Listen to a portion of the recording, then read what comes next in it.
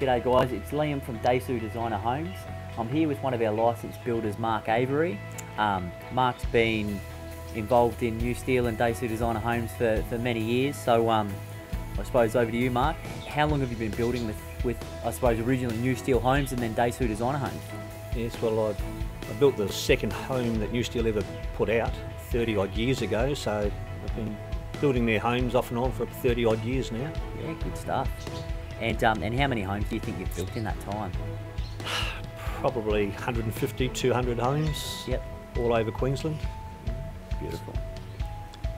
And um, well, uh, what are the advantages that you would say having a licensed builder on site would be? What are the main main ones that sort of spring to mind? Well, having worked with owner builders and being a licensed builder myself, uh, there's an awful lot of stress for owner builders. Um, the procedures, contractors, keeping everyone in line, you have to really know what you're doing, otherwise it can get away on you.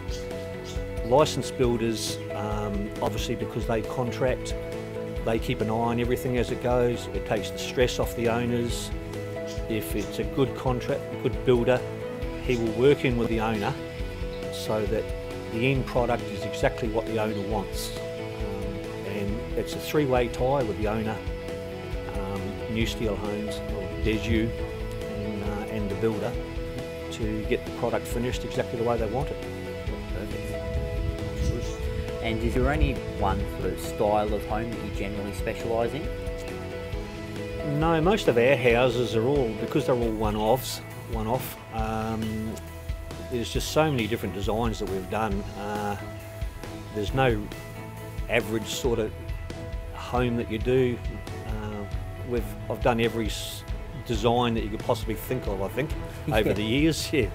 Yeah, sounds about right. Um, and what's the most remote build that you think you've done with us? Yeah, well, I do a lot of specialise in doing remote area work as well, which is out in the middle of Queensland, up in the Northern Territory. Uh, I've built a couple of houses overseas in uh, the Solomon Islands, in Bougainville, Fiji, uh, up in the Highlands of New Guinea. You know, so yeah, the job takes me everywhere. it's good. And obviously, every job has its own challenges and and um, aspects that you've got to overcome and get Right. around and that sort of stuff. Yeah, e- every house is different, you know, and it's got its own little um, intricacies. intricacies. Yeah. Uh, so, uh, yeah, you just have to work along those and get through them the best you can. Yeah, no worries. And what's the most challenging build that you think you've done? We did a big two-storey house on the canals at Raby Bay, just out of Brisbane, uh, where the it was a very narrow site, um, and we had to start working from the back, which is the canal side, with the swimming swimming pool, all the landscaping, and had to work our way out to the front. So we basically had to finish it as we went from the back to the front, Yep. and that, that was quite a challenge. Yeah, excellent. And um, I suppose a bit of a light-hearted one to finish. What's the uh, what's the funniest thing that you've seen an owner builder do on a site before?